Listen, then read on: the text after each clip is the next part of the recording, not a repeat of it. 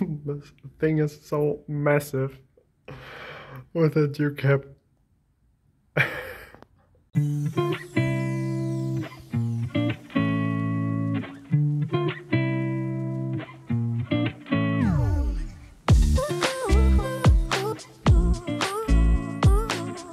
This is actually very promising weather. Uh, today uh, we will have a clear night for the first time after, I don't know, several weeks and today most probably I can test my new telescope, the 200 PDS and so testing the new telescope and testing uh, guiding with an off-axis guider.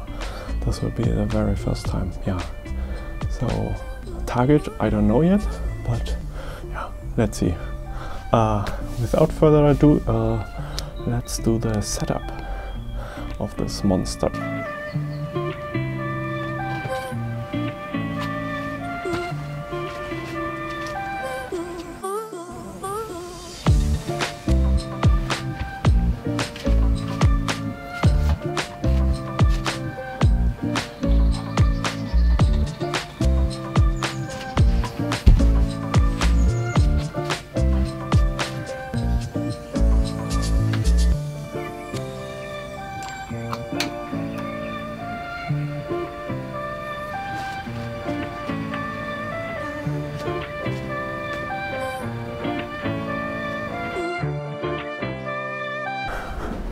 Alright, this will be the first slew uh, with this new telescope on my HEQ5 Pro mount. I hope it will work.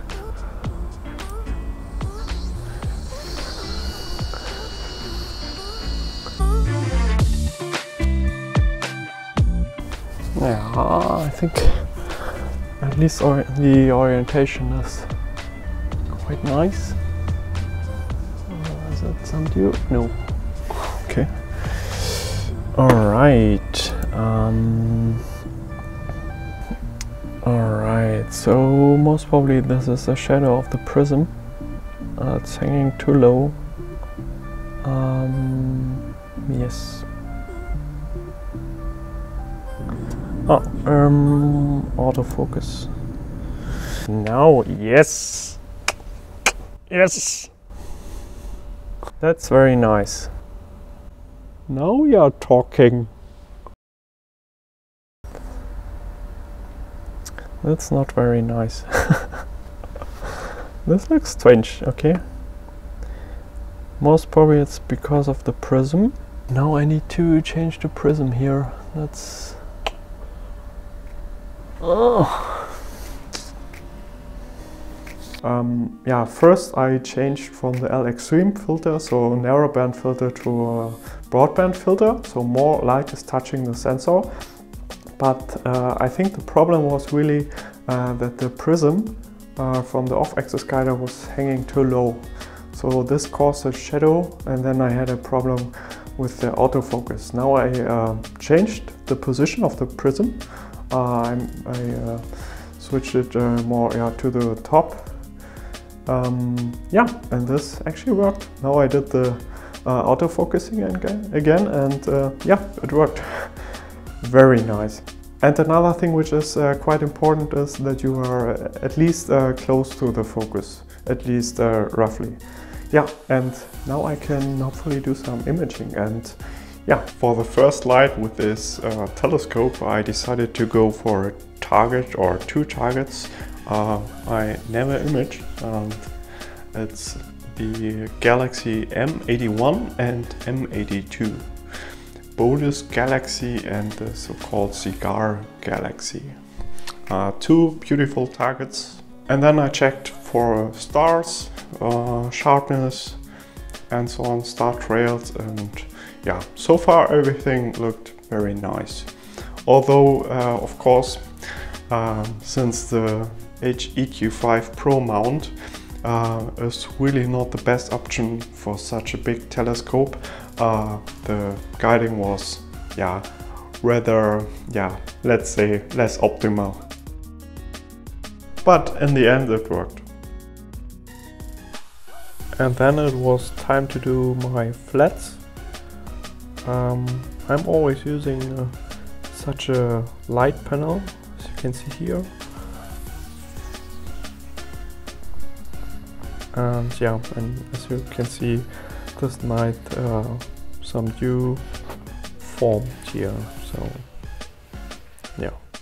And yeah to create the actual flats I love to use the so-called flat wizard Nina. Here are my settings. You just press start and then it's to its thing here.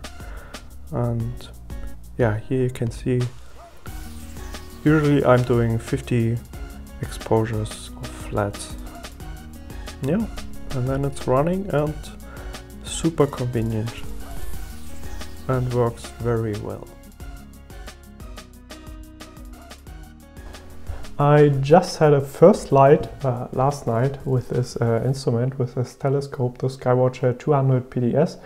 And all in all, it worked quite well. Uh, I solved some problems and so on.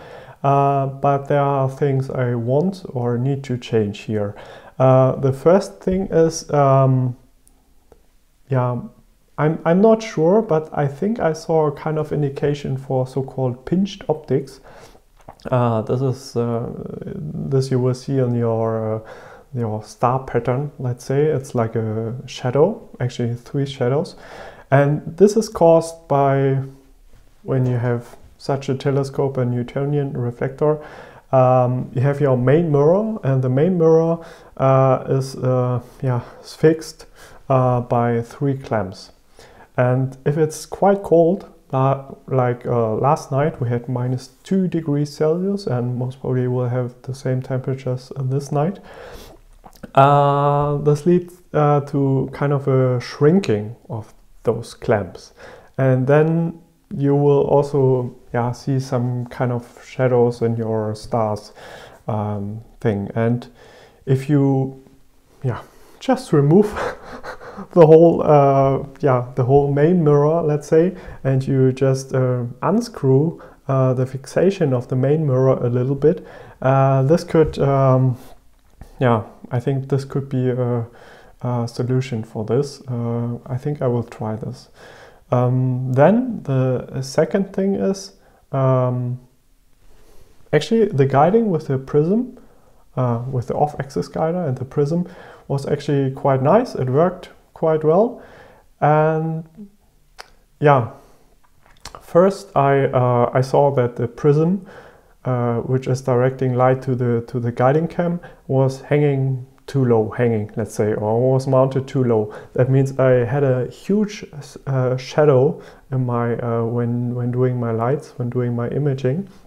And then I made some adjust, adjustments and then I uh, yeah change the position to a more to the, to the top so that the the whole prism is not hanging so low and will not lead uh, to such a um, yeah big shadow and but in the end I still had some kind of a shadow and so I will uh, even uh, try to uh, reposition this uh, prism again a little bit.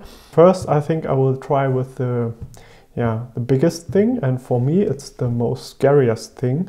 So eat the biggest frog first. Um, um, yeah, what I will do is I will disassemble this one, at least this part here with the main mirror. Uh, yeah, loosen these uh, screws. I think it's six six screws. Then I will remove the main mirror part, the whole this part here and um, then I will just uh, unscrew uh, the, the fixation uh, a little bit, uh, let's say. I will try this. Um, what you will need for this is, yeah, maybe you won't need this, but I will use some gloves. Um, at least uh, when when I have the part with the with the main mirror in my hand. And what you definitely need is such a, a screwdriver this is uh, in, the in the box uh, of this telescope. So this I will do first.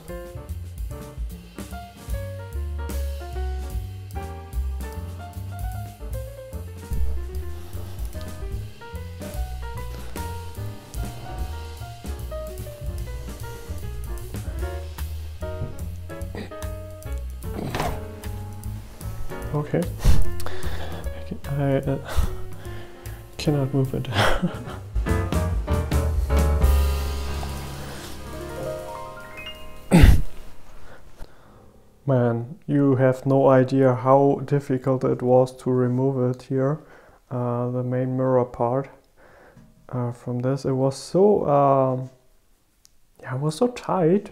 I also thought maybe it's about the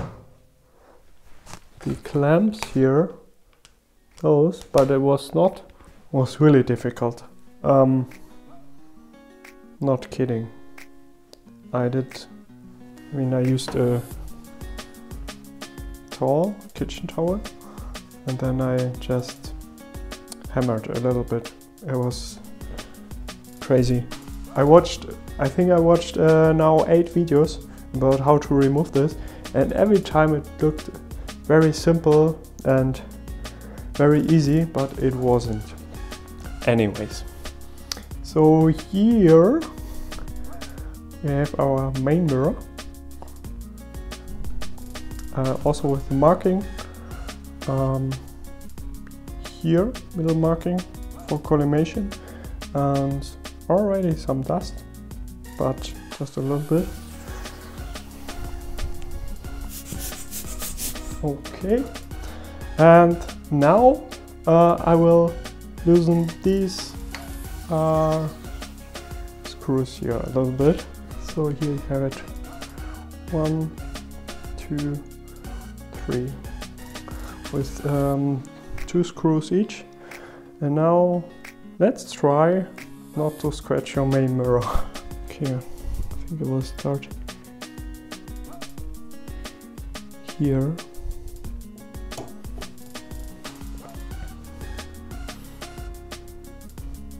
Yeah, it's very tight. It's really, really tight. As you see, I use my finger here that I not accidentally scratch the surface of the uh, mirror. Yeah, I don't know how much.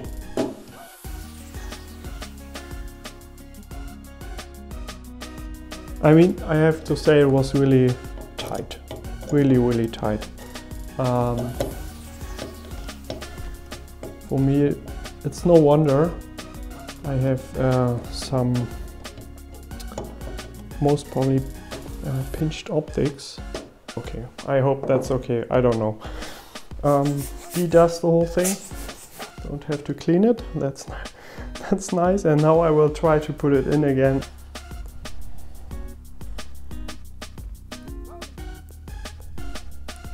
As you can see it's so, I, I cannot, uh, I think I will need the hammer again. It's crazy. It's so dense. One thing is really uh, unscrew uh, these uh, screws a little bit here. Um, yeah to remove the pinched optics. And another thing you also can do I read that it's possible that light can be reflected uh, yeah let's say internally reflected on this uh, edge on this edge here. And there are some people who are yeah manufactured some kind of ring here. Of course it will reduce your mirror or effective mirror size a little bit, but you will uh, have better star shape.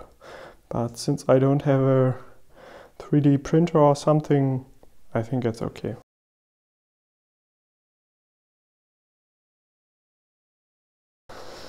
Let's reinstall this baby here again. The, the tube is just too small.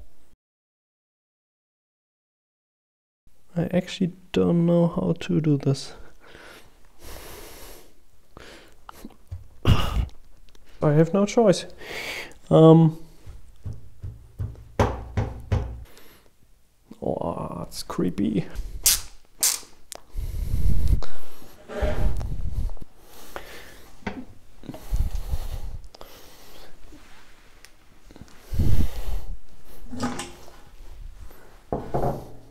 And this is after assembling the main mirror again. Uh, looks pretty nice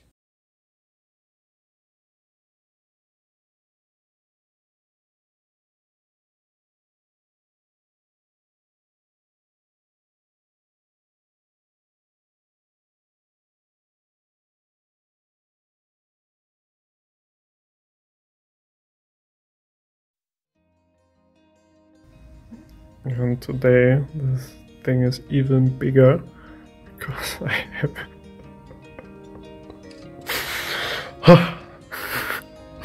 this thing is so massive with a dew cap.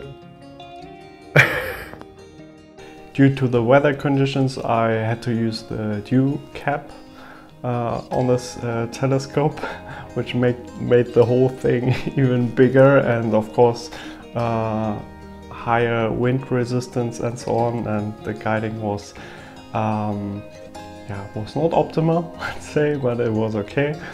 Uh, I had to sort sort out some uh, single subs but that was okay. And yeah so I had several uh, clear nights and I continued uh, imaging M81 and M82 and yeah, so now I want to show you the final result.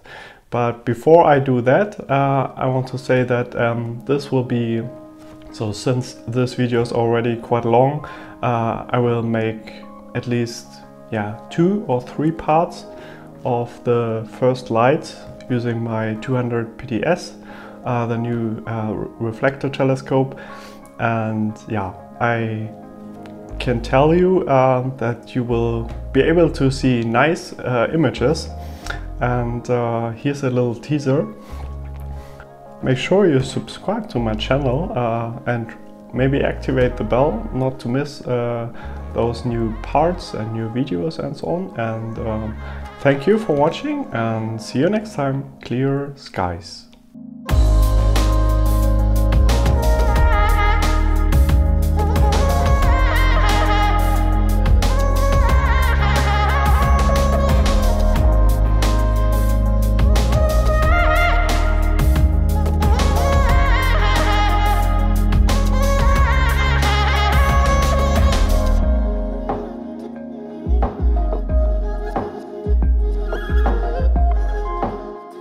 Música